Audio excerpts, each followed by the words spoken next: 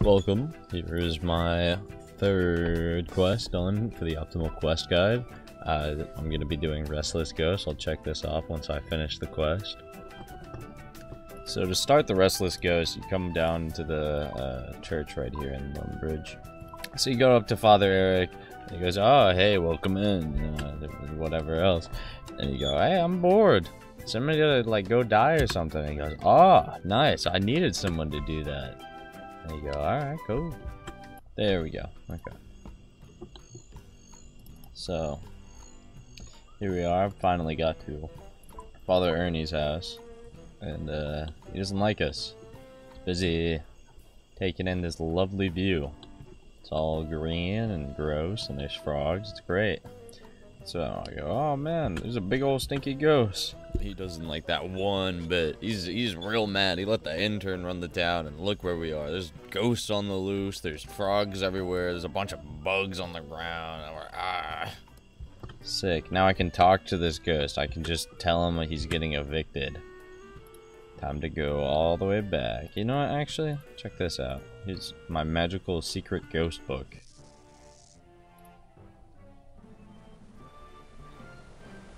Poof! Knock knock. It's all bones. I go, hey, Mr. Ghost. He says, woo. And I go, oh, whoopsie. And I go, hey. And he goes, ah, everything sucks. And I go, oh, huh. Uh, and so then he's gonna well, I gotta help him. He's helping me help him help me. Get some quest points, you know, optimally, of course. And so, here we go. Getting this ghost. Oh my god. How do you... What? Oh my god, someone stole his skull. Alright, well, anyways, time to get skedaddle onto that wizard tower. I'm not using any teleports. Quest guide doesn't tell me to. Well, the quest guides do, but the optimal quest guide doesn't say anything about getting any teleports.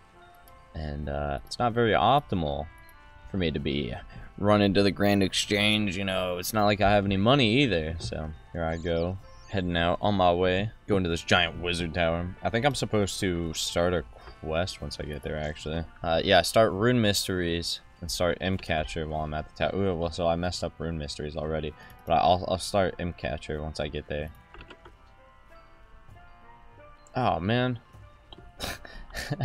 Wait, where do I start Rune Mysteries at? I don't remember, actually.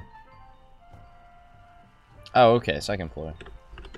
Okay, whatever. Whenever whenever I finish the quest, I'll just go back and start Rune Mysteries. That's fine. But I'm gonna start Imp Catcher here. Because that's what's optimal. I actually don't remember who I'm supposed to talk to.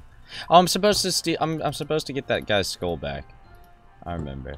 Uh, but I have to go up here talk to this guy about catching all these imps. Oh, just kidding. Not that guy. Where's Mizgog? There you are. Wait, no, no, no, no. Give me a quest. Please. We started Imp Catcher. That's not this time, though. That's uh, time after next. Yeah, so I'll run down here. I need to take this dude's skull back. But the scary thing about it is once I grab it, a skeleton's gonna come after me. And, uh... I'm not supposed to fight the skeleton, I'm just supposed to run. According to the optimal quest guide, of course. Run! Time to run all the way home because I forgot uh, how teleport spell cooldowns work. Finally! This man, he can have his, his head back. He will finally receive his own head. Okay, Mr. Skelly Man. I have your skull.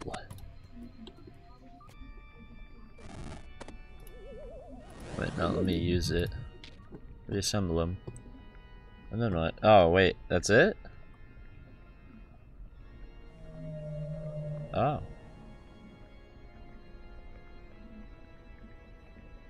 Okay. Well, uh... I, I guess that's it. I'll just check that one off. Uh... Check?